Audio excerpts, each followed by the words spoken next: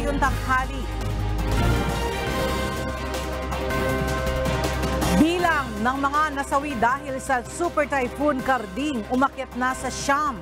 Pinsala sa sektor ng agrikultura nasa 1.5 billion pesos ayon sa NDRRMC.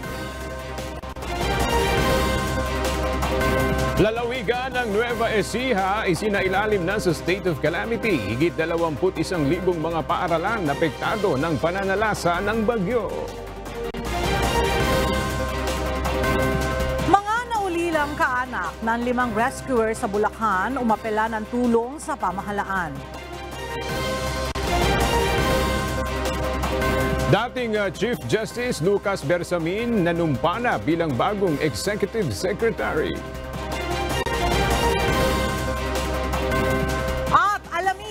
Bakit dumadami ang mga Pinoy na bumibisita at naghahanap buhay sa Taiwan.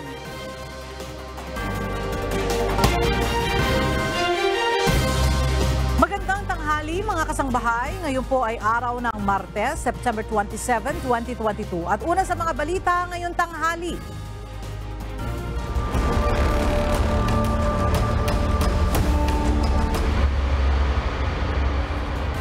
Umakyat na sa Siam ang bilang ng naitalang nasawi matapos ang pananalasa ng Super Typhoon Karding sa bansa. Samantala, tuloy-tuloy naman ang relief operations ng Armed Forces of the Philippines at Philippine National Police upang mahatiran ng tulong ang mga kababayan natin na sinalanta ng bagyo. Mula sa Camp Krame, may report si Leia Ilagan live. Leia, ano ang detalyeng ibinigay ng NDRRMC kaugnay dito sa bilang ng mga nasawi dahil sa bagyo? Ella, yung siyam na nasawi na nasa talanga ng National Disaster Risk Reduction and Management Council. Yung lima dyan ay yung ah, mula sa Bulacan ng mga rescuer. Nadagdag yung apat ngayong umaga. Ito ay ah, mula sa Sambales yung dalawa.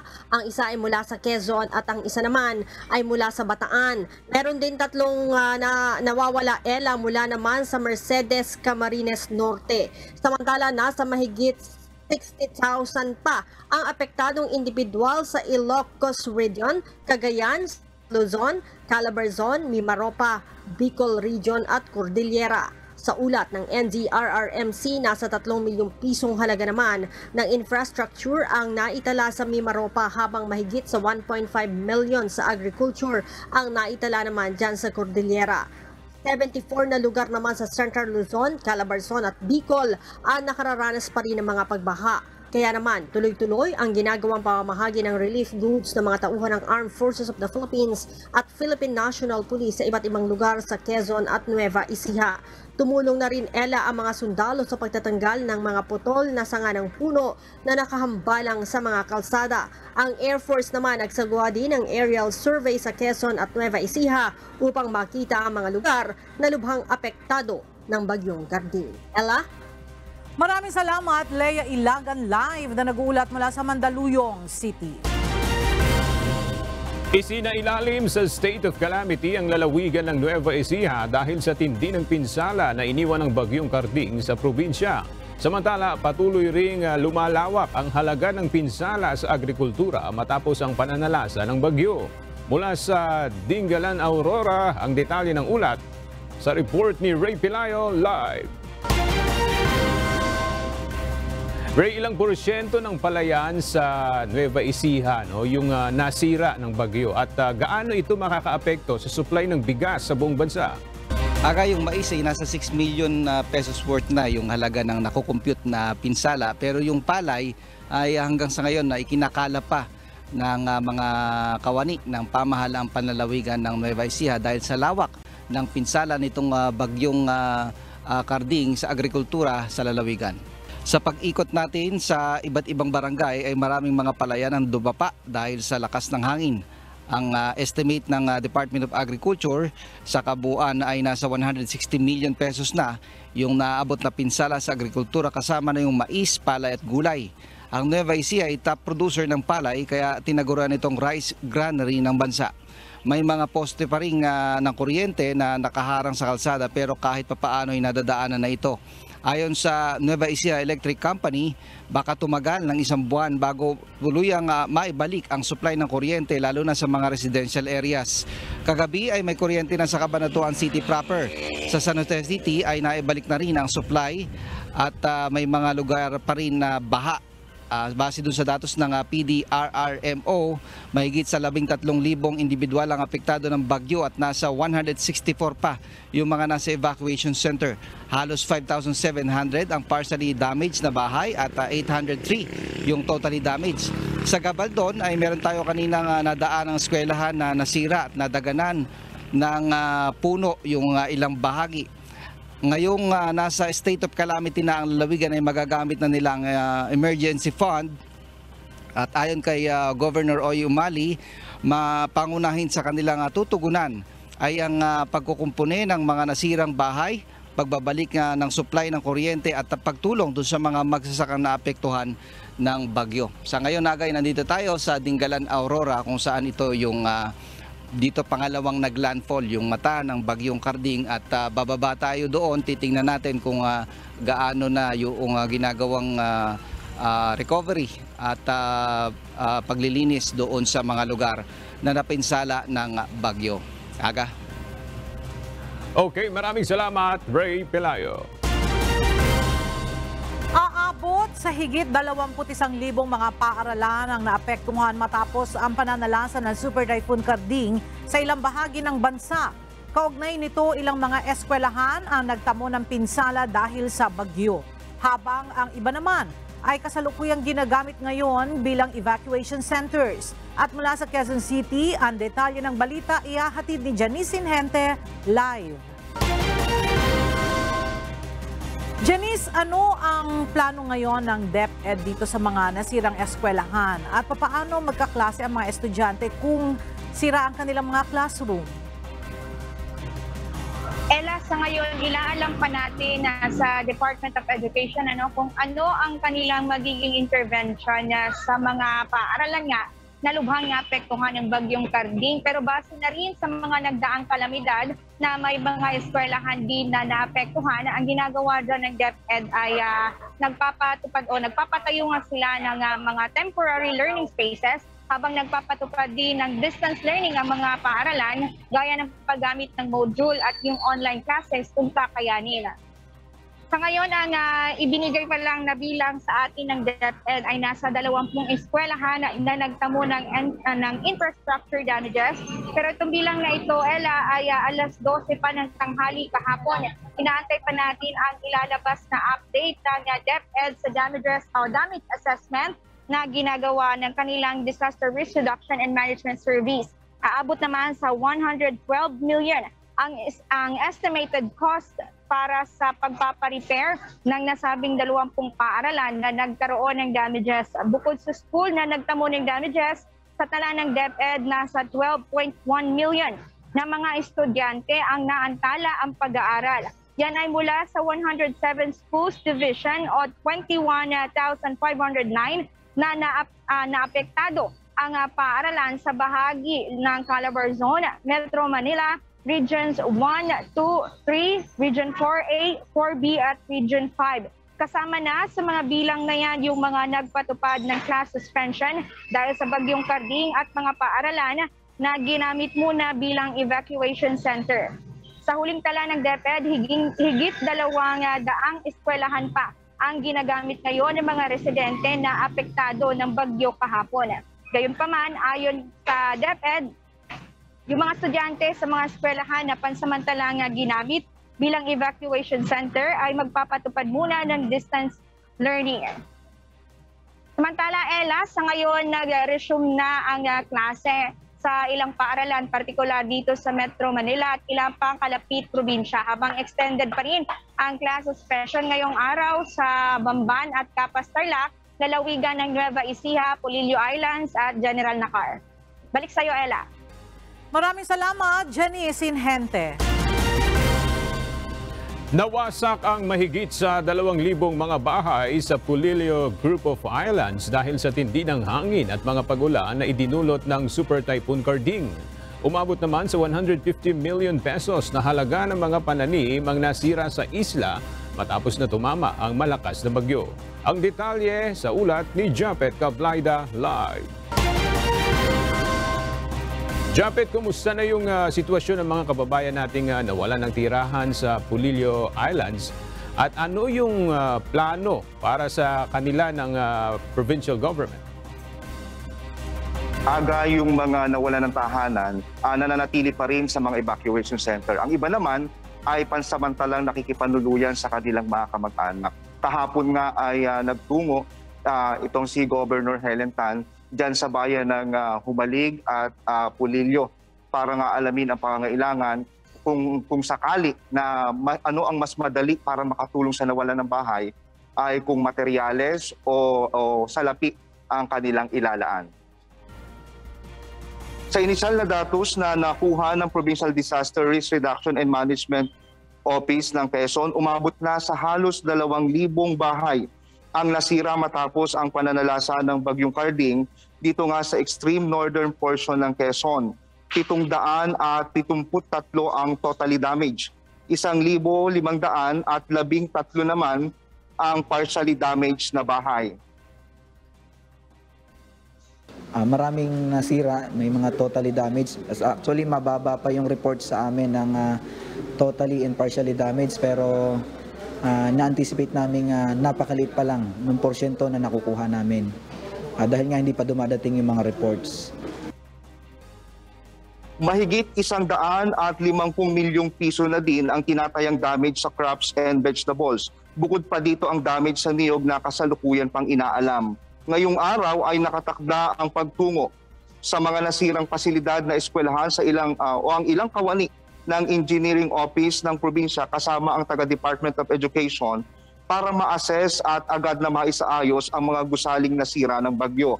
Bagamat maliit pa lamang ang porsyento ng datos na nakukuha ng PDRRMO Quezon, agad na iminumungkahi ito sa sangguniang panglungsod na magdeklara ng state of calamity sa lubhang na apektuhang bayan. Kanina po ay nagkaroon ng pagpupulong ang ah, Provincial Disaster Risk Reduction and Management Council kasama ang mga local chief executives ng mga bayan sa lalawigan ng Quezon at nagkaroon ng rekomendasyon ang Provincial Disaster Council sa ina ng lalawigan na humiling sa sangguniang panlalawigan ng state of calamity para dun sa Pulilio Group of Islands at sa General Nakar. Ela, nakikiusap naman ang PDRRMO Quezon sa mga barangay officials na madaliin na nila ang ah, pagkuha ng datos kasabay ng pag-alam ng sitwasyon at pangangailangan o kaligtasan ng mga residente sa kanilang nasasakupan dahil malaking tulong ito upang agad na malaman ang ka- kaukulang tulong na pwedeng maibigay ng lokal na pamahalaan ng Quezon Province. At yan muna ang update mula dito sa Quezon. Balik sa iyo, Aga. Alright, maraming salamat, Japet Kablaida. Patuloy na makakaranas ng monsoon rains ang ilang bahagi ng Central at Southern Luzon maging sa Visayas ngayong araw. Ito'y kahit nakalabas na ng Philippine Area of Responsibility ang bagyong Karding. Napanatili naman ito ang kanyang lakas na 140 kilometers per hour na may pabugso ng hangin o hanggang 170 kilometers per hour habang patungo ng Vietnam.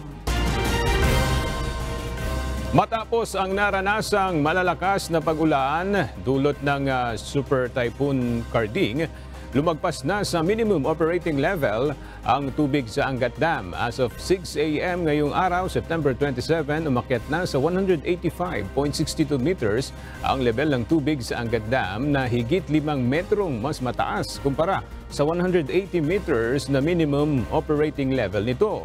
Bukod sa Angat, tumaas rin ang level ng tubig sa iba pang mga dam gaya ng Ipo, Lamesa, Magat, Ambuklaw at iba pang water reservoir. Samantala, nanawagan naman ang mga netizen at environmental groups na protektahan ang Sierra Madre na sinasabing may malaking papel sa pagsalba ng maraming buhay kapag may paparating na malakas na bagyo. Narito report ni Marisol Montaño.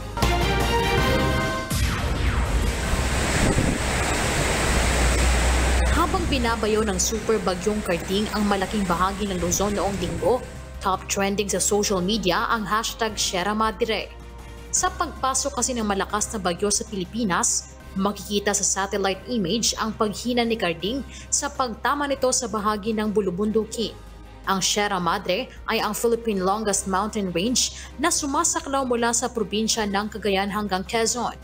Tinanggurian itong backbone of Luzon na nagsisilbing natural barrier laban sa mga bagyo mula sa Pacific Ocean. Sa paghagupit ng bagyong Karting, muling nagpatanto ng maraming netizens ang malaking papel ng ginagampanan ng Sierra Madre. Dahil dito, muling nabuhay ang panawagan lalo na ng mga environmentalist na iligtas at proteksyonan ang bulubundukin mula sa mga dam projects, deforestation, mining at land misuse. Ang panawagan ay napapanahon dahil kahapon, September 26, ginunita ang Save Madre Day.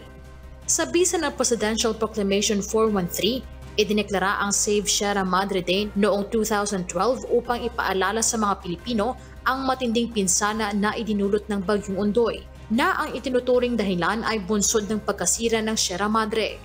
Marisol Montaño, UNTV News and Rescue, Diyos ang aming sandigan, serbisyo publiko ang aming pinahahalagahan.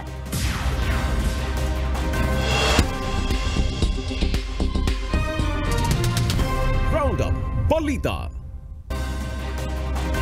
Ipinatutupad ngayong araw ang panibagong bawas presyo sa mga produktong petrolyo. Sa abiso ng mga oil company, bababa ng 1 peso and 25 centavos per liter ang presyo ng diesel. Habang 1 peso and 65 centavos naman ang bawas sa kada litro ng gasolina. Samantala, may tapyas rin na 1 peso and 35 centavos ang presyo ng kerosene per liter. Ang panibagong oil price rollback ay bunsod pa rin ang pabago-bagong galaw sa presyo ng mga produktong petrolyo sa international market. Sinertipikahan ng urgent ni Pangulong Ferdinand Marcos Jr. ang House Bill No. 4488 o ang General Appropriations Bill. Sa pamamagitan nito, maaari nang maaprubahan ang General Appropriations Bill sa ikalawa at ikatlong pagbasa sa loob lamang ng isang araw. Layo nito na magtuloy-tuloy ang pagpupondo sa mga programa ng gobyerno para sa COVID-19 response at pagpapalago ng ekonomiya. Ayon naman kay House Speaker Martin Romualdez, patuloy ang deliberasyon ng panukalang 5.268 trillion pesos na pondo ng bansa sa plenaryo. Bukas inaasang maaprubahan ang General Appropriations Bill sa mababang kapulungan ng Kongreso. Muli nang pinayagan ng Land Transportation Franchising and Regulatory Board ang standing o tayuan o tayuan sa loob ng mga pampublikong sasakyan. Ito ay sa mga lugar na nasa ilalim ng Alert Level 1. Base sa Memorandum Circular Number 2022 to 070, tanging ang mga public utility buses at modern public utility jeepney ang papayagan na magkaroon ng mga pasaherong nakatayo. Ito ang mga bus na may low entry o low floor kung saan papayagan ang tayuan ng hanggang labing limang pasahero na may isang tao ang pagitan. Habang sa mga coach type pub naman, hanggang sampung pasahero ang papayagan na maximum standing. Limang pasahero naman ang papayagang tumayo sa mga Class 2 type ng modern jeepneys. Ang mga polisiyang ito ay alinsunod sa direktiba ng Department of Transportation upang magamit ng husto ang mga espasyo sa mga public transportation sangayon sa ipinatutupad na health and safety protocols. Samantala, pinapayagan na rin ng LTFRB ang pag-apply ng Certificate of Public Convenience ng mga PUV operator na may sasakyan na hindi hihigit sa tatlong taon ang tanda. Tatagal ang pagsusumite ng aplikasyon hanggang sa June 30, 2023. May inaalok na higit isang daan at limampung job offer ang Bureau of Immigration para sa mga nais na mag-apply sa kanilang tanggapan. Sa isang uh, pahayag, sinabi ni Bureau of Immigration Commissioner Norman Tansinko na ang dagdag na manpower ay upang mapag-ibayo pa ang kanilang serbisyo. Kabilang sa mga posisyon na inaalok ang Immigration Officer 1 at Administrative Aid.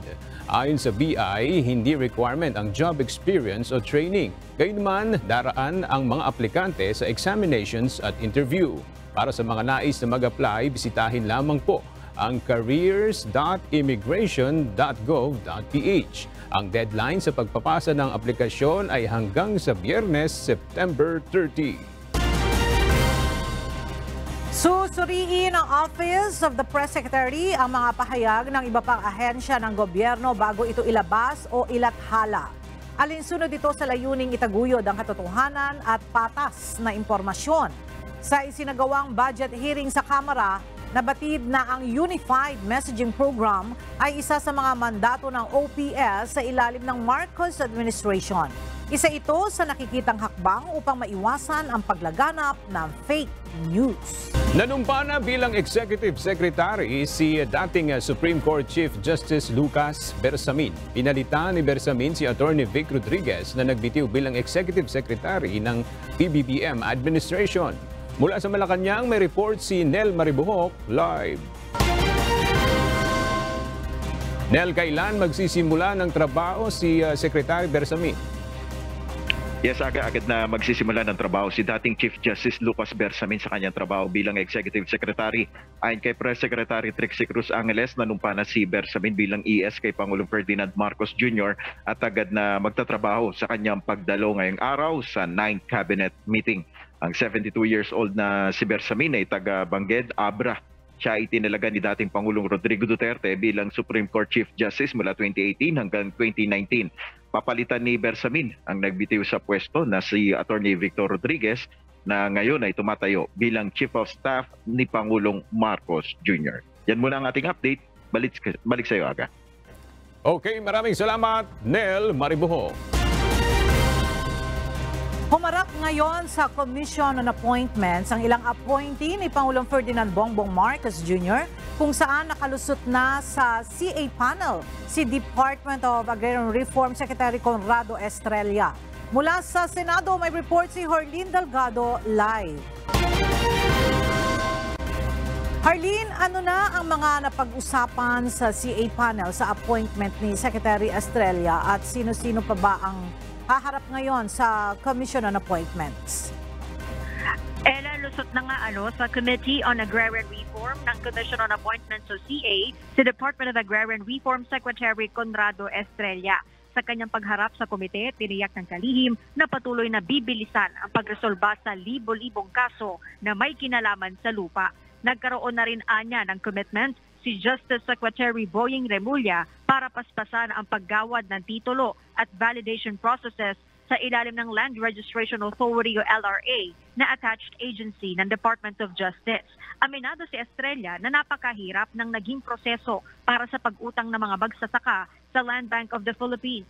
Ngunit pinadali na niya ito sa, sa ngayon at nangakong tutulungan din ang mga magsasaka sa pagproseso ng kanilang loans. Ela mamayang hapon haharap na muli si Estrella sa plenaryo para opisyal nang aprubahan ang kanyang kumpirmasyon.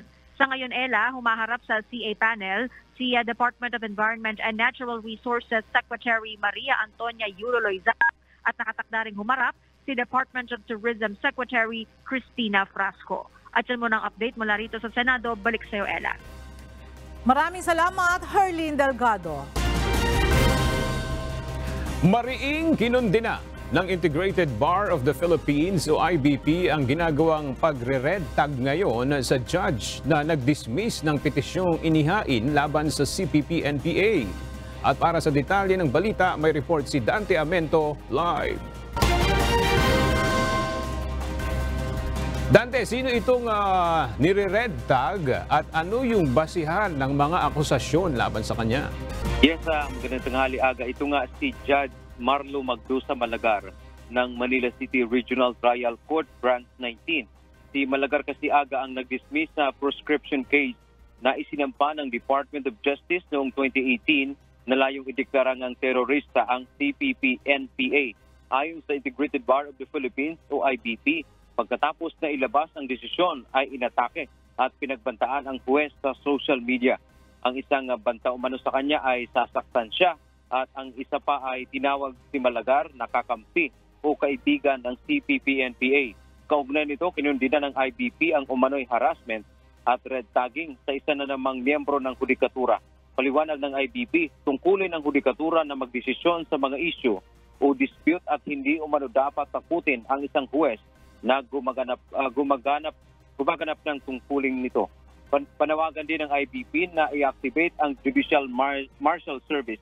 Pagkatapos na maglabas ng desisyon si Judge Magdusa Malagar, isa sa tumuligsa sa kanya si dating NTF-LCAC spokesperson Loren Badoy. Sa kanyang pahayag sinabi rin ni Badoy na katuwang ni Judge Magdusa Malagar sa pagsulat ng kanyang desisyon ang mga urban operative umano ng CPP-NPA na ilang abogado mula sa National Union of People's Lawyers o NUPL. Sa ngayon wala pang ah, reaksyon dito ang NUPL. Yan ang ating balita mula sa Maynila. Balik tayo aga. Maraming salamat, Dante Amento.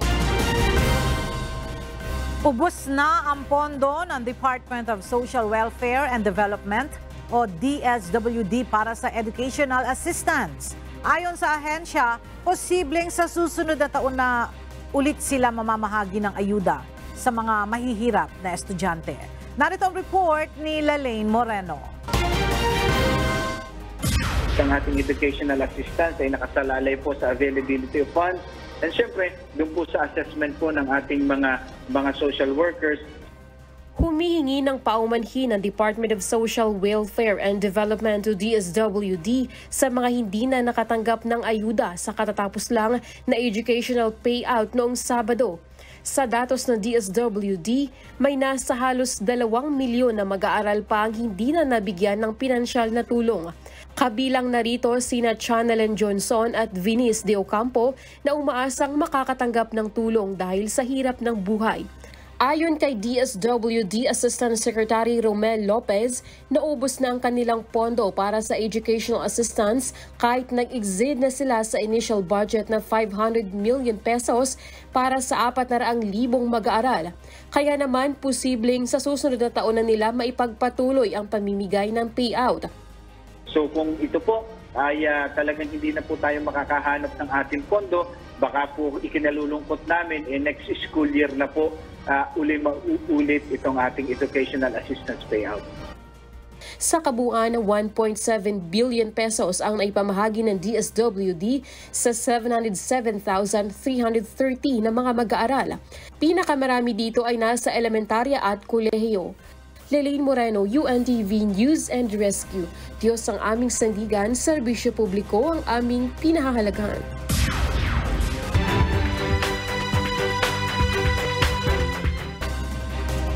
Sa patuloy na pagdami ng mga displaced families sa tuwing may bagyo, plano ngayon ng pamahalaang panlalawigan ng Camarines Norte na maglagay ng mga evacuation center sa bawat bayan sa probinsya. At mula sa Daet Camarines Norte, may report si Brian Baldaraje live. Brian, ilang evacuation centers ang planong ipatayo ng provincial government dyan? Yes, Ella, nais ng uh, provincial government na magtayo ng pito pa na evacuation center dito sa lalawigan dahil lumalabas doon sa labing dalawang bayan dito sa Camarines Norte, lima lang ang bayan na mayroong evacuation center. Nais din ng provincial government na magamit ang mga classroom sa pag-ieskwela ng mga bata lalo na ngayong papalapit na ang pagpapatupad ng full face-to-face classes ngayong Nobyembre sa ginanap na operational briefing ng provincial government dahil sa bagyong Karding, isa sa tinalakay dito ay ang patuloy na pagdami ng displaced families tuwing may bagyo, kaya naman kinukulang ang mga evacuation centers sa probinsya. Lumalabas din sa nasabing pag-uusap na may mga paaralan din na hindi pwedeng magamit bilang evacuation center dahil dahil ito man ay uh, binabaha din. Excessive or heavy rains may cause both flooding and uh, landslide. Now, kung sa school tayo normally, kasi yun ang over the years, yun ang nagiging nagiging uh, evacuation centers natin. Kasi hindi naman so far lahat ng barangays ay merong maayos na evacuation centers. Ela ayon din sa DepEdCam Norte sa mahigit 300 paaralan dito sa probinsya, Siyam na tatlo dito ang binabaha at hindi ligtas na gamitin bilang evacuation center. Karamihan din sa mga paaralan ay under construction pa at inihahanda pa sa pagpapatupad ng full face-to-face classes ngayong Nobyembre. Pagdating po dyan, actually po, marami pong mga schools talaga.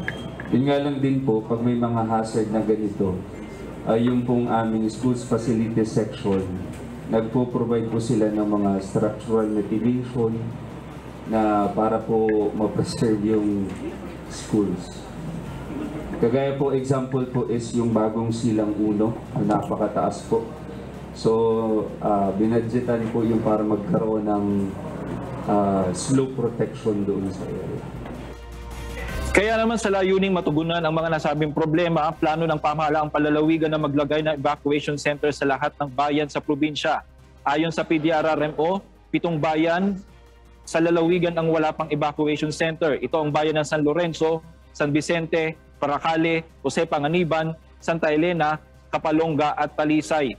Nais din matiyak ng pamahalaang panlalawigan na magiging tuloy-tuloy ang pagpapatupad ng in-person classes. Madalas kasing problema, tuwing may bagyo, hindi magamit ang mga classroom ng mga estudyante dahil ginagamit pa ng mga displaced families ang mga classroom bilang evacuation center. Ela ayon sa PDRRMO, 24 na paaralan ang ginamit dito sa Camarines Norte nung manalasa ang bagyong karding nitong nakaraang araw. At uh, aabot naman sa mahigit 2,000 uh, uh, individual o mahigit uh, 500 pamilya ang displaced families ang pansamantalang nanatu- na, nanatili sa mga paaralan natin bilang evacuation center. At yan muna ang latest live mula dito sa Camarines Norte. Balik sa inyo, Ella. Maraming salamat, Brian Baldarahe. Nananatili pa rin ngayon sa mga evacuation center ang nasa dalawang daang mga evacuees sa Cordillera Administrative Region matapos ang bagyong Karding. Mula sa Baguio City, makibalita tayo kay Robinson Flores live. Robinson, bakit may mga nasa evacuation center pa rin at kumusta na ang kanilang sitwasyon doon? Yes, Ella. Ayon sa Office of the Civil Defense Cordillera, dahil sa pangamba na magkakaroon ng pagguho ng lupa sa kanilang lugar, dahil sa nakita mga cracks ng lupa bungsod ng nagdaang 7 magnitude na lindol noong buwan ng Hulyo. Pero ang ilang mga pamilya ay inaasahang makababalik na sa kanilang mga tahanan mamayang hapon.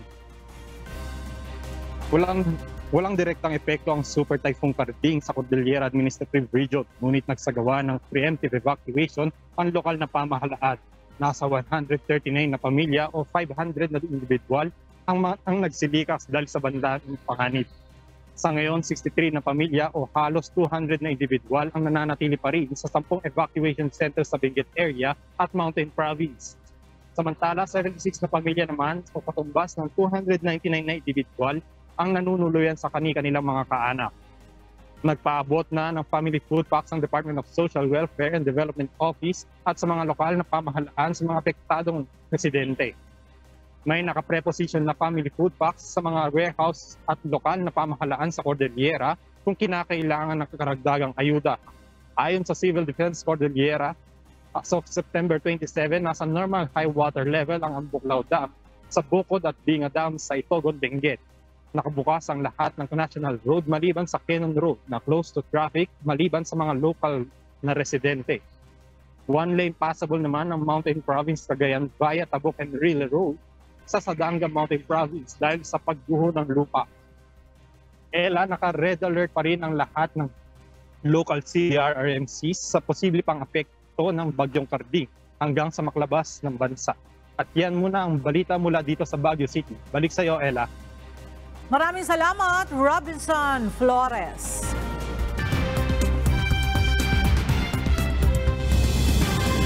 Nasa Tokyo, Japan na si Vice President Sara Duterte bilang kinatawan ni President Ferdinand Bongbong Marcos Jr. sa state funeral ni dating Prime Minister Shinzo Abe.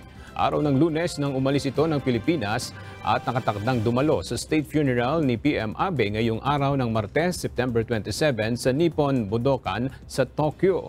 Nasa 6,000 mga panauhin kabilang na ang mga foreign dignitary ang inaasahang ah, dumalo sa event. Bago ito, nagkaroon ng ah, pakikipagpulong si BP Duterte kay Japan Prime Minister Fumio Kishida.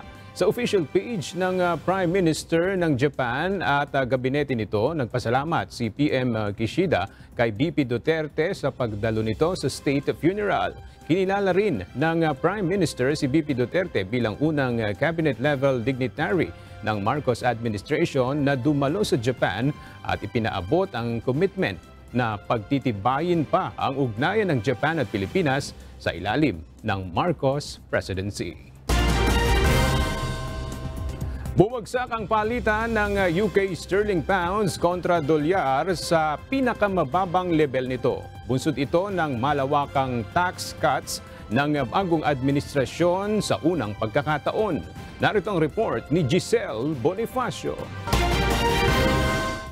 Bunsod ng pinakamalaking pagbabawas ng buwis sa buong United Kingdom sa kauna-unahang pagkakataon sa nakalipas na 50 taon, nagsara sa halagang 1 US dollar and 3 cents ang 1 UK sterling pound sa merkado umaga ng lunes. Nakabawi ito ng bahagya sa halagang 1.08 US dollars kanina. Ayon kay British Chancellor Kwasi Kwarteng, aasahan pa ang pagbabawas ng buwis alinsunod sa karagdagang 45 billion pounds package. Lumobo rin ang utang ng UK government na umabot ng 4.5% na interes, ang pinakamataas na interest rate mula noong 2008 financial crisis sa UK. Isang emergency meeting din ang inaasahan na ipatawag ng Bank of England sa darating na mga araw, ayon kay former Bank of England Governor Sir John Give, upang aksyonan ang pagbulusok ng pound sa pamamagitan ng pagtataas ng interest rates. Ayon sa mga ekonomista, kung patuloy na bababa ang halaga ng sterling pound kontra dolyar, mas lalo pang tataas ang presyo ng mga imported commodities tulad ng langis at gas. Samantala, ilan sa mga kababayan naman nating OFWs ang naapektuhan dahil sa biglang pagbagsak ng sterling pounds. Isa siyang malaking impact sa lalo na sa mga OFW na nagpapadala ng uh, suporta sa Pilipinas uh, sa akin personally uh, sa buwan-buwan so malaking impact siya kasi magagawa ka ng another overtime para lang maka-cope dun sa finances. Ganun pa rin. Wala akong magagawa kundi whatever the equivalent, kailangan pa rin magpadala. Pero sa akin, siguro, kailangan pa mag-extra work para lang makapadala uh, very disappointed talaga. Kasi lalo na sa panahon ngayon tumataas ang mga bilihin at saka yung yung salary natin is not enough even to you know to survive. You have a mortgage to pay you have a bills to pay here. At the same time you have to send money back home nagpapaaral ka.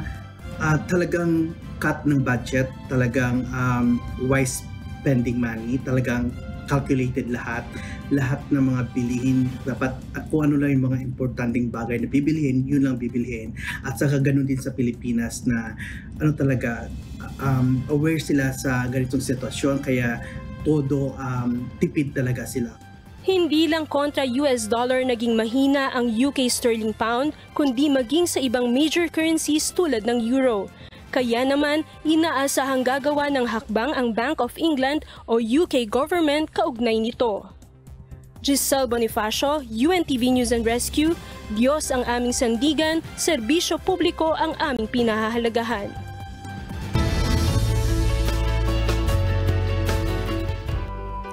Muling ma-enjoy ng mga Pilipino ang visa-free entry sa Taiwan simula September 29. Alamin kung bakit nga ba dumadami ang mga kababayang bumibisita at naghahanap buhay sa Taiwan. Narito ang espesyal na ulat ni Paulo Dasal. Welcome to Taiwan! Isa na ang Taiwan sa mga paboritong tourist destination nating mga Pinoy. Mula nang sinimulan ang free visa entry para sa mga Philippine passport holders noong 2017, pasok ang Pilipinas para sa top 10 international visitors.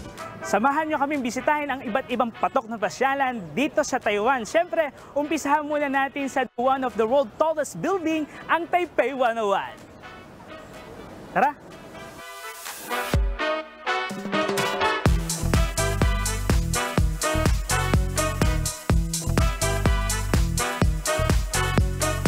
Wow! napakataas nga. Mula dito sa 101st floor o Taipei 101 skyline, makikita ang 360 degree view ng Taipei. Isa rin sa pinakabibisita ng mga kababayan sa Taipei ang Siminting, ang itinuturing na sentro ng kultura ng Wanhua District. Paborito itong hangout spot ng mga Pilipino dahil sa daytime at evening pedestrian shopping area. Mura at maayos ang public transportation ng Taiwan. Mayroong bus, MRT, light rail, high-speed rail, at ang pinaka-healthy, ang rental bike. Dahil dito, maraming lugar ang pwedeng mapasyalan sa loob lamang ng isang araw. Alam nyo ba, noong 2019, umabot sa mahigit 500,000 ang Pilipino tourist sa Taiwan? Dahil sa maraming magagandang lugar dito sa Taiwan, isa sa paboritong pastime ng ating mga kababayan ay ang mamasyal. Ilan sa mga sikat na tourist spots sa Northern Taiwan na paboritong pasyalan ng ating mga kababayan ay ang Yelyu Geopark, Matatagpuan dito ang ilan sa pinakasikat na eroded rock formation sa mundo. Magandang tanawin para sa mga Pilipino. Jofan! Madaling puntahan mula sa Taipei City, isang dating mining town sa northern eastern Taiwan. Dinarayo ng mga Pilipino hindi lang dahil sa street foods nito, kundi dahil sa mayaman sa kasaysayan at kultura. Shifen Old Street Isang railroad town kabilang sa mga pinakasikat na pasyalan ng ating mga kababayan dito sa Taiwan dahil sa pagkakaroon ng charming na ambience. Bukod sa local food at souvenir, patok ang Chief and All Treat dahil sa swak na swak sa picture taking. Para naman sa ating mga kababayang nature lover at mahilig sa outdoor activities, isa sa mga hindi dapat palagpasin puntahan ang Alishan. Makikita sa Giant Tree Trail ang mga naglalakihang puno na talaga namang nakamamangha. At kung pagod ka ng maglakad, pwede kang sumakay ng train dito para makita pa ang iba pang bahagi ng kabundukan. Samantala, isa ang San Mon Lake sa top Filipino tourist destination sa Central Taiwan. Lalong mapagmamasdan ang magagandang tanawin ng lawa at nakapaligid na bundok sa pamamagitan ng San Mon Lake Ropeway. At ngayon susubukan naman natin ang isa sa mga Taiwanese food na suwak sa panlasang Pinoy. Ngayon kasama natin ang isa sa mga Filipino teachers dito sa Taiwan, si Dr. Ray. Dr. Ray. At dahil sobrang mainit ngayon dito sa Taiwan, susubukan naman natin ang Taiwanese version ng Pinoy halo-halo dito mismo sa Taiwan. Kaya tara!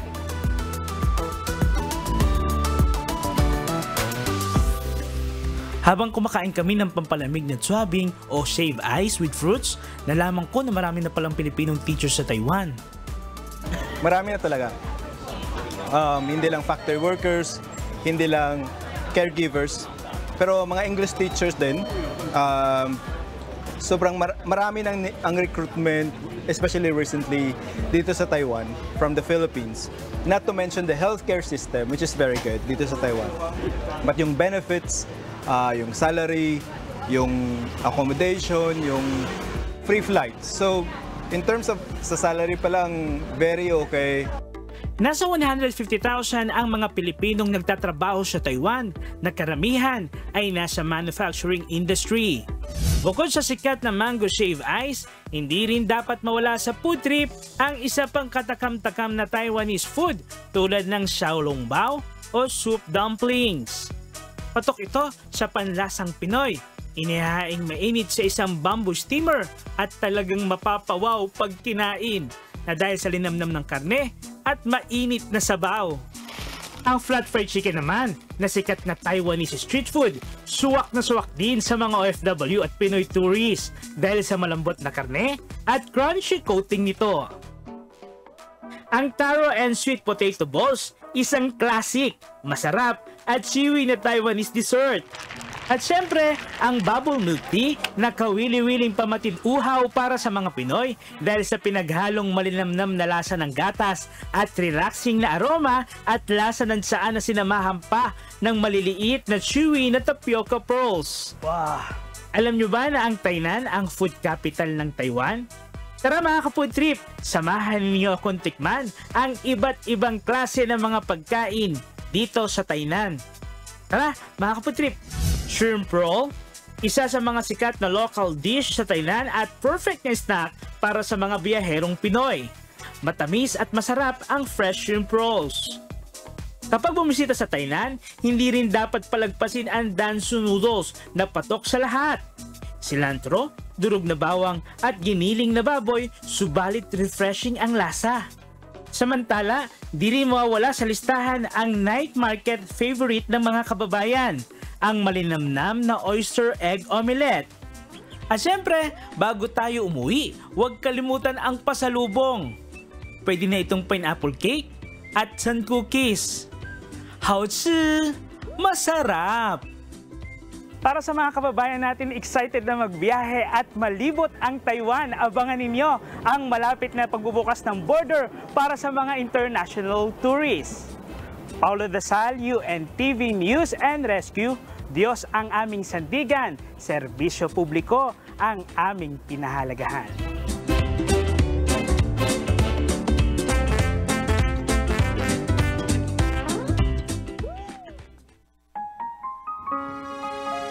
At sa ating pong iiwang mga salita ng Diyos na ating sandigan mula sa aklat ng Ebreo, Kapitulo 13, versikulo 6 na nagsasabi, Ano pat ating masasabi ng buong tapang?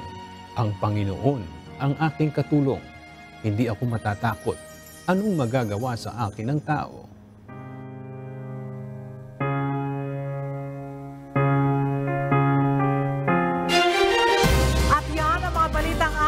Aming tinutukan at inaksyonan dahil sa aming pagbabalita, una ang pagkalinga sa kapwa.